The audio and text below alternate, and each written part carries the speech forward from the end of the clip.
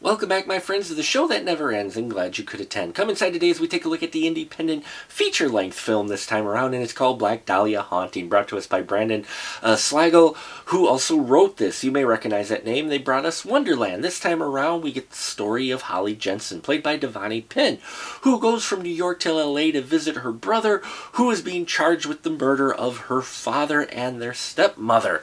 Well, when she arrives, she finds out there's more to this mystery than meets the eye, as she finds her brother has been drawing pictures of Elizabeth Short, aka the Black Dahlia, who he says she, he sees her in his uh, visions and, and, dreams and such, and uh, which is kind of weird because he's blind.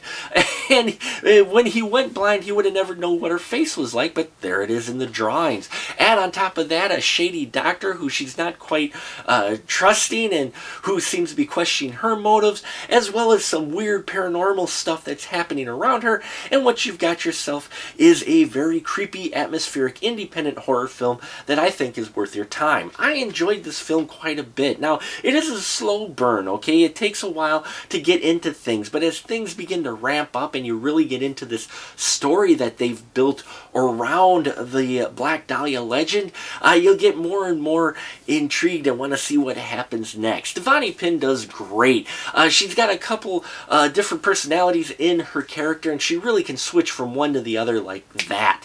And I really loved her performance in it, and she really carries uh, this character well and sells this character of Holly Jensen.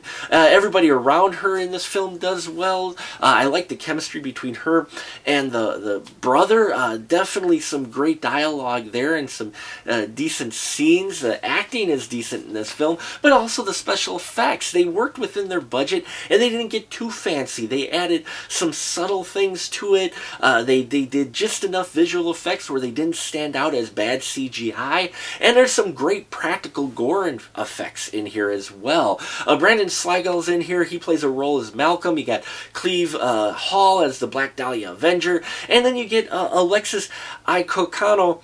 Uh, I may have mispronounced that. I do apologize. And Jessica Cameron, who are in some scenes, uh, in the flashback scenes mostly. Alexis plays the Black Dahlia, and Jessica Cameron plays a character named Norma Jean. And I really like the flashback scene that they had together. Uh, it was done in black and white. The costuming felt authentic and very fitting for the period that they're supposed to be in. And the dialogue as well was delivered very well. So I really liked the flashback scenes and they really helped add to that connection of this story to the Black Dahlia. Again, this is not looking uh, to be an answer to what happened to the Black Dahlia. It's using that legend as a catalyst for this paranormal stuff that happens to Holly Jensen and her brother.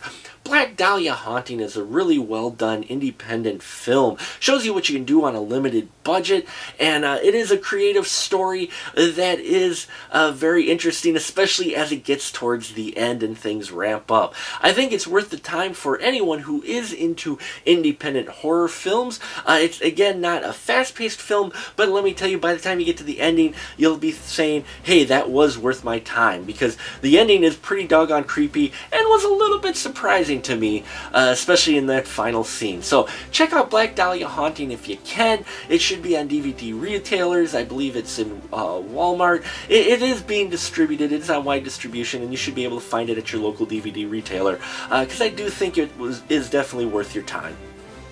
And that about do it for us here at the Final Cut. Till next time, folks, keep that ticket stub.